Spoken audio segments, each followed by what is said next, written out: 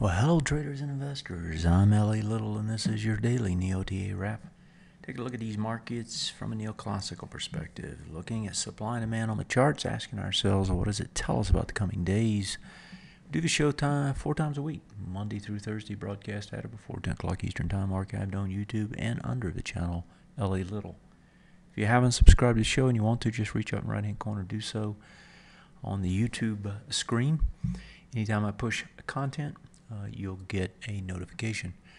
As far as what happened today, um, it was another up day overall. Nice big up day, actually. We're going to come back to these. Uh, these were kind of interesting today. Um, the shippers. Um, I just want to show you some of the wild things that are starting to go on. But if we look at the numbers here, hey, here we go. Uh, what we got here is, um, you know, a nice big push up uh, on the Nasdaq, the NDX, so forth, right? Uh, so you, you, had a lot of selling in the NDX. Uh, you get a push back up. The Russell takes a break.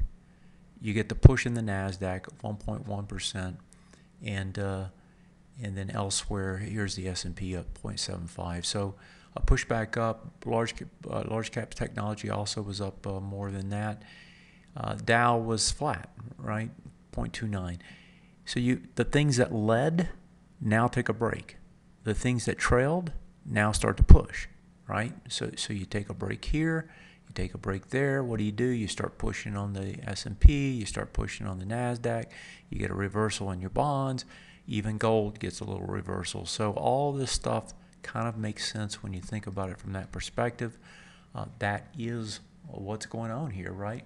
And that's very positive if you want to be long this market because what it's telling you is that this uh, money is uh, just rotating around into things that quote unquote look cheap now.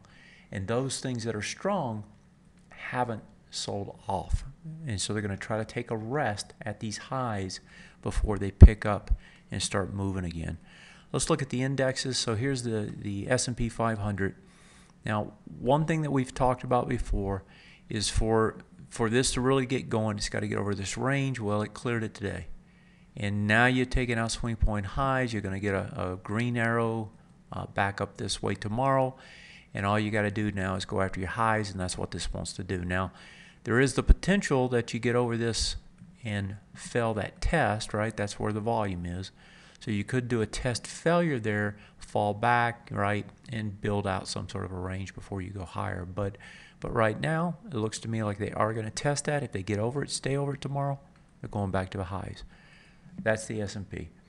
If we look at the Nasdaq, on the Nasdaq, the broad composite, uh, you're pushing back up. You're coming back up towards the highs.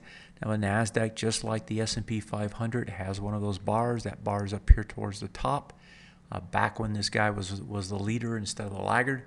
Uh, but that's where it's going to try to go. It's got the same test coming up tomorrow here as you see on the S&P. If you want to watch for a failure, you watch the weaker ones. And so you look at the NASDAQ and you say, does it fail at that price point? If it does, then that potentially uh, pulls the other ones back in uh, with it. NDX. Now, the large cap technology got sold off hard. Um, it's kind of a strange volume. That's not really true, but uh, we'll have to correct it. Uh, the the large cap, right? They sold off hard on the Trump news, and so you ended up coming all the way back down. Now you're trying to climb back up, and again, as this one comes up, what it's going to do is a bearish retest, regenerate, and that's going to be off the swing point low that it closed under. And since you come back within six bars, you can get to the other side. So we'll see if it can get up to that high uh, before it fails and tries to turn around. And finally, if we look at the Russell, the Russell now, as we talked about, this is the one that uh, went ballistic. 10% uh, move off the lows, no break, and still no break, right? An angle of ascent that's impossible to maintain. Uh, you will get a pullback. It's just a question of when. Uh, but as I was just saying, that pullback may be no deeper than this, for example. I mean, you may not even get back to these swing point highs. So, in other words, you could just levitate up here, build out some sort of a large ABCD structure, right, like that, and then take off again. So, that's the um, small caps. So, strong everywhere. You know, people, you, you read people talking about, okay, you know, this is going to go wrong or that's going to go wrong. Folks, you got this kind of momentum. This momentum doesn't just go away, right? As a matter of fact, as I started the show there, I had the uh, shippers up. Let me pull them back up.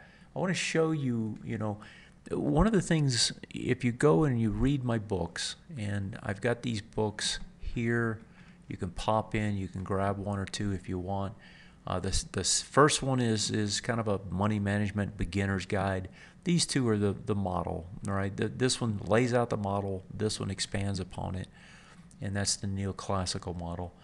And if you read my books, you know I talk about the probabilities associated with uh, sectors pull, right, and the general market pull.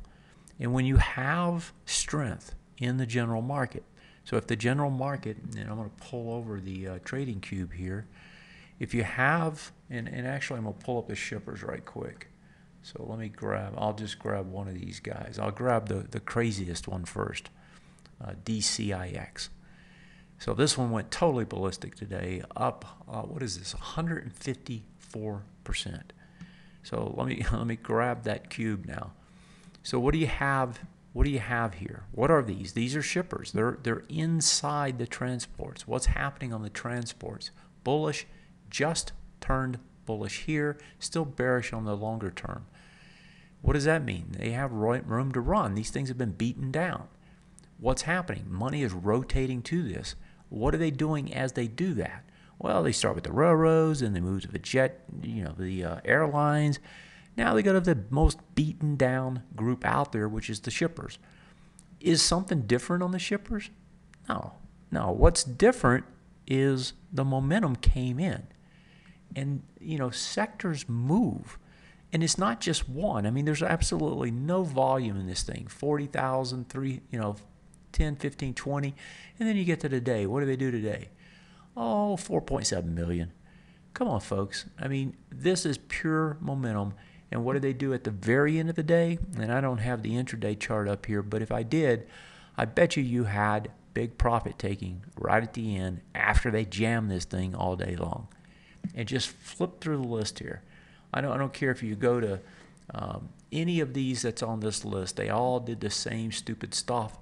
They all push up uh, actually, this one's a different one. This is it just happened to be uh, up big today. But here's another one. Here's DryShips, right? This is like the poster child. They start pushing it, and they keep pushing it, and then what do they do? They go chase the other ones.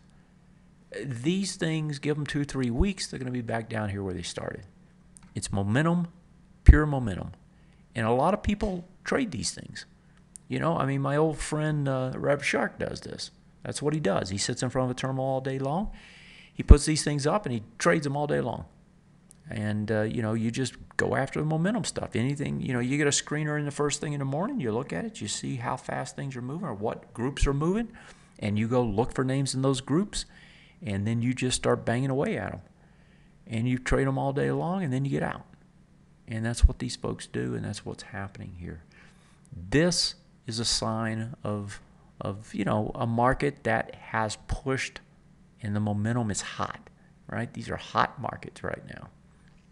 All right let's uh, let's go elsewhere. I'm gonna, I'm gonna take a second here and pick up on a uh, viewer question first before i forget. It has to do with gold. And the question was is you know should we uh, be looking at gold? So i'm gonna pull gold up first and then we'll go from there. The first thing i'm gonna say about this is why right? We, we have things that have already we've, we've already been told that there are things out here that are winners and losers. And what i'm talking about is this huge rotational shifts right that had taken place i can't quite get this all on the screen let me try to shrink it for you yeah here we go we had these huge rotational shifts that began to take place this is off of um, oh, who is this? I'm trying to think of the name, Bespoke, right? And, you know, this is like gives you a good feel for the rotation. Look at where the money went and where it came out of, right? You've got like small caps, 600, and it's the IJR, right? The, the Russells. all of these got big moves. Look at the the, the Qs, the, th- the three Qs, you know, down. They're, they're out of favor. Look at gold, five down, silver down, 8% since the election. Yeah, you'll get a bounce, but why do you want to play like emerging markets or the BRIC? Why do you want to play in a spot or like Mexico where we know that they've been declared in the doghouse? Right? These are in the doghouse yeah, you can get a bounce, but that's all it's going to be is a bounce. It's you know it's going to take time to repair the damage now. So looking at gold, you know you got. I guess we could pop in here. Looks to me like you got an ABCD structure to here. You got a bounce to there. You do another ABCD structure down. Looks to me like it's not quite done uh, on that time frame. If I pull the weekly over, uh, let's see what we got on the weekly. Let's see if we can get this drawn right. Um, here on the weekly, yeah, there's another ABCD structure here. And this one comes into this area, right? Gets a bounce. And now you're trying to fulfill. It's not quite done. Looks like it's attacking these swing point lows. And it looks to me like this is the bar it's going after is that low. So, you know, if you're going to do anything, you want to wait until there and that's where you take a shot at it if you're going to. You, you let it test into there, you let it have less volume, and that's where you put your buy in and you buy it and you get your first bounce. If you're playing this longer term, you don't buy that first move into this. You just let it bounce and then you let it come back and test again. And if it tests on lighter volume, then you think about it, right? Then that's the spot. That's if you're not trying to, you know, do a quick trade, a bounce trade. This is going to take a few months. It's not going. This is the weekly chart. It's going to take. It would be in next year at least before this thing really gives you a, a serious buy, if in fact it's going to turn bullish again, and that's because it's in the doghouse, and it's in the doghouse for a reason. Whatever the reason is, you don't even have to know what it is. I mean, we can speculate like everybody else does, but it doesn't matter. It just matters that it's in the doghouse. And once you're in the doghouse, you're going to stay there for a little while and there's no sense in trying to trade it. As a matter of fact, I've been in gold for a long time. I traded some in and out. I didn't get out on this break, which is where I should have got out. Uh, didn't didn't really get out on that break. We ended up hedging when we got down here, made a nice run up, sold. Excuse me, we hedged up here, right, and then we sold it out, and then we stopped out. Actually, up here at 119, we hedged. Um, we hedged almost twice up into the top. And then we took it out. And that was because it was breaking down. You, you have to be aware of what's moving and, and when it's moving. And if you're on the wrong side of a trade, and I'll be very honest, I was on the wrong side of a trade with Trump. I was long, expected a rally. Happened to be in the wrong things though. Big cap tech, that didn't work. You have to come out. You got to go you got to go get what's working. I've outlined what's working, and uh, matter of fact, if you pull this back over, you can see what's working. It's very easy to see what's working in the sectors. And then you just go inside those sectors if you want individual stocks. But they've all ran so far now, you got to let them reset, and then you take the next shot at them. Uh, so that's gold. Uh, the rest of the question was uh, was it worth buying GDX? No, it, I, I would not mess with any of this right now. So if I look at GDX here, um, yeah, you got a little bounce going. You know, think about neoclassic, and, and I know the person that's writing this, that you know the neoclassical stuff. Bullish, excuse me, bearish retest regen is right there. The overlap of these two bars is right there. This thing's going to bounce to right there, and it's going to come right back down. It's not the time to buy it and I'm kind of surprised that uh, you're even thinking it. Actually, uh, it's not the time. I, it comes later, in my opinion. I could be totally wrong, but your odds are not on this trade. And the last question uh, related to this was uh, ABX. Same same uh, thing, I suspect. Let's go look at it real quick. Uh, let me grab the gold stock charts and let me pop in. ABX should be right here at the beginning, and it is and ABX. Okay, so ABX is already coming into it. And so ABX is already into the bearish retest regenerate. Now this one looks like a, it's a little bit better than the rest, But still, you got all your volume right here where it's coming into. Watch what it does tomorrow. See if it gets over it and stays over it. I suspect it probably won't. Uh, I suspect it's probably going to fail and then come back again. So, um, you know, maybe you get over it and then you come back, but you're still. I mean, the other thing is just three black crows. I mean, that's on almost every one of these gold charts. That that's that's like the mark of death. Now, you know, over time they'll find their way back up to this area up here, right? But um, it's just not worth playing. Don't play the hard stuff. Get the wind at your back. That's what qualified trend is all about. Wind at your back. Figure out what the trends are. Stay with those that are winners. Whether you're trading short or you're trading long, get the strongest, short the weakest. Market's probably going to have a shot tomorrow to get an over under, get some sort of a reset started. If it gets over it, continues on. I showed those tests right at the beginning. That's what we'll be watching tomorrow. Have yourself a great one. Take care. I'll see you next time. Good night.